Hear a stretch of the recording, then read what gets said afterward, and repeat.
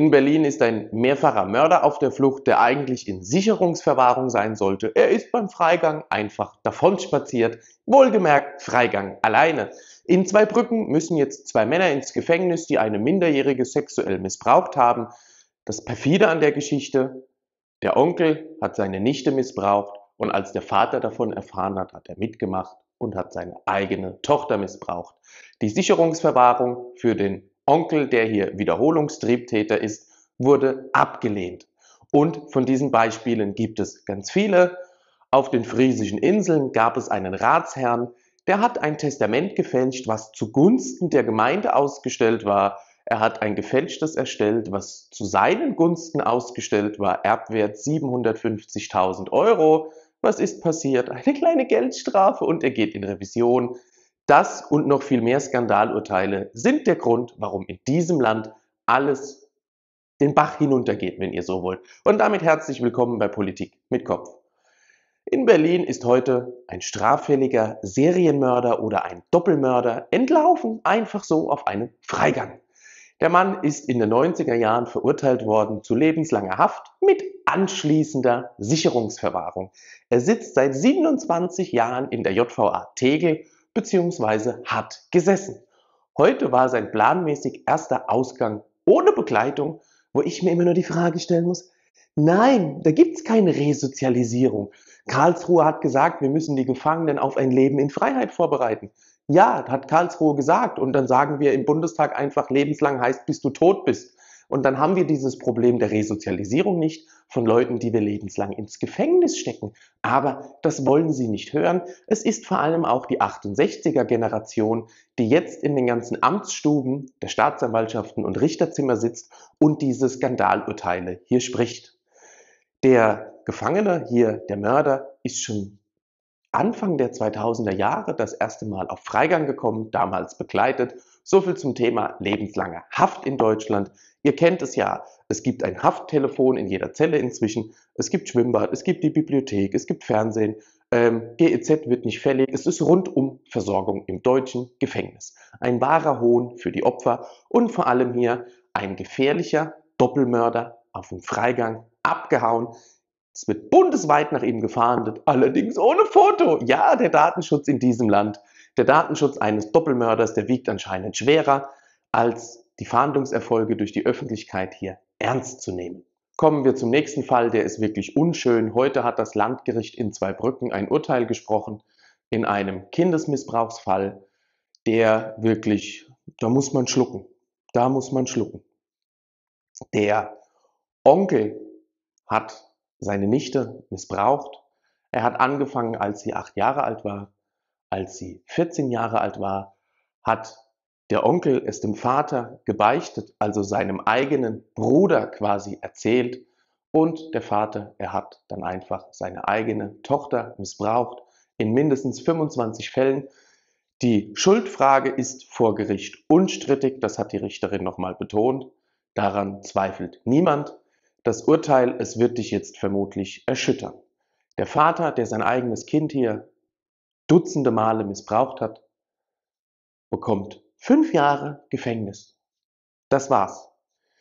Der Onkel, sein eigener Bruder, ja, er war schon mal wegen sexuellem Missbrauch an einer anderen Nichte verurteilt worden und ist damals vorzeitig auf Bewährung entlassen worden und hat innerhalb dieser Zeit kein Jahr nach seiner Entlassung noch in der Bewährung angefangen, die damals Achtjährige zu missbrauchen.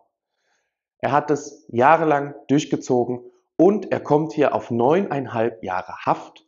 Die Staatsanwaltschaft, sie hatte zehn Jahre gefordert plus anschließende Sicherungsverwahrung.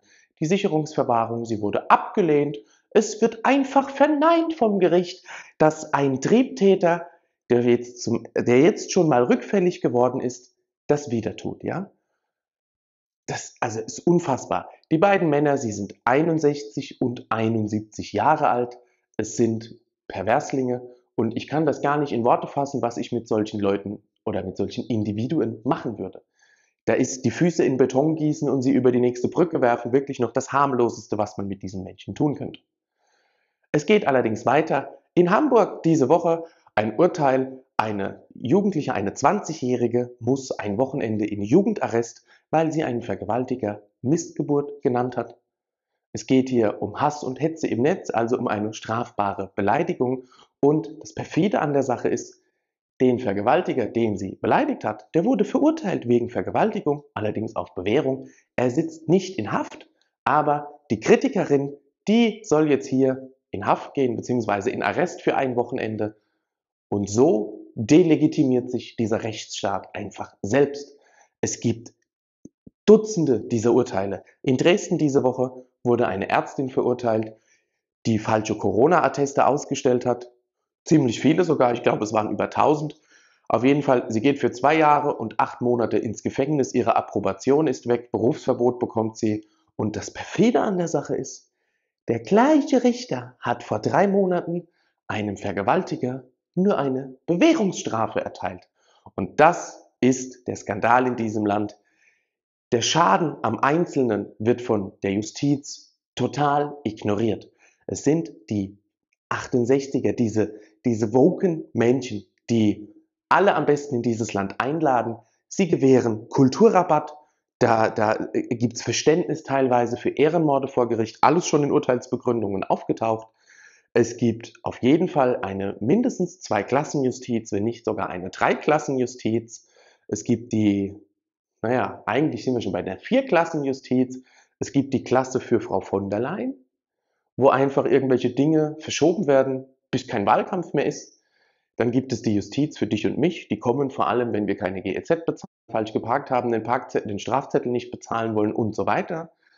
Dann gibt es die Justiz, die unsere Zugewanderten hier kennenlernen. Da gibt es die tollsten Sachen, die sich Ausländer erlauben können und den Deutschen würde man dafür ein Gerichtsverfahren ans Bein binden. Und dann gibt es noch die letzte, das ist dieser ganze Asylantenkomplex. Das sind diejenigen, die hier jedes Verfahren in einem Asylprozess den Flüchtlingen finanzieren, obwohl es gar keine Aussicht auf Erfolg gibt. Es gibt wahrscheinlich noch viel mehr Stufen der Justiz, diese vielen Stufen, die dieses System hier bietet, es gibt noch viele mehr. Denkt mal an Kati Hummels. Sie hat alles für Germany in Deutsch geschrieben auf Instagram, dass nachdem Björn Höcke dafür für 13.000 Euro Geldstrafe verurteilt wurde, sie bekommt nicht mal ein Ermittlungsverfahren. Sie hat sich entschuldigt und gesagt, sie wusste das nicht, trotz der medialen Berichterstattung über Björn Höcke und dessen Aussage. Es ist einfach lächerlich, wie in diesem Land gewisse Dinge einfach ignoriert werden. Die Verfahren gegen Frau Baerbock bei der Staatsanwaltschaft in Berlin, sie werden verschleppt, es dauert ewig. Es ist wie mit Nord Stream bei unserem Generalbundesanwalt. Und wenn der Staat ein großes Interesse daran hat, dass niemand sonst ermittelt, setzen wir erstmal den Generalbundesanwalt darauf. Der untersteht direkt dem BMJ, also Herrn Buschmann, und er übt dann das Evokationsrecht aus. Das heißt, die Ermittlungen von Mannheim, die hat dann der Generalbundesanwalt jetzt an sich gezogen und damit dürfen alle anderen nicht weiter ermitteln, damit wir keine doppelten Ermittlungsakten führen. Ein Schelm, wer dabei Böses denkt. Das Problem ist nur, die Urteile, die inzwischen gesprochen werden, sie sind wahrlich nicht mehr im Namen des Volkes. Aber was können wir dagegen tun? Wir können leider sehr wenig tun. Wir können nur die Politik versuchen, durch Wahlen zu verändern. Und diese Politiker wählen dann über die Richterwahlausschüsse, die Richter teilweise, man könnte allerdings die Gesetze gleich ändern, wenn wir die Strafbemessung, also die Strafmaße per Gesetz ändern. Ich hätte da ein paar Vorschläge zu machen. Vergewaltigung, keine Bewährung mehr, Mindeststrafe fünf Jahre Gefängnis oder mindestens drei Jahre Gefängnis, bis 20 hoch, kein Problem. Gruppenvergewaltigung fast ansetzen wie Mord, gar kein Problem. Wir könnten das einfach durchsetzen. Man muss es nur wollen. Wir könnten die Bewährungsstrafe auch ausschließen bei Messerdelikten, bei Körperverletzungsdelikten, dass jeder, der einen anderen körperlich misshandelt, mal eine Haftanstalt von innen sieht. Ich glaube, das würde Eindruck schinden, das würde auch gewisse Leute abschrecken, aber wir lassen uns alles gefallen. Das Video von dem zusammengeschlagenen Schüler, es gibt jetzt erste Ermittlungsergebnisse. Die, die geschlagen haben, sind 12 und 13, strafunmündig. Ihnen wird nichts passieren in diesem Land. Die, die dabei standen und gefilmt haben, 14 und 15. Was kriegt man wegen unterlassener Hilfeleistung als 14-Jähriger? Zehn Sozialstunden? Vielleicht? Keine Ahnung. Aber es ist peinlich für dieses Land. Die Leute haben es geschnallt. Die Politik, sie schläft weiter, sie machen nichts und sie provozieren die Eskalation in diesem Land. Sie provozieren es hier wirklich.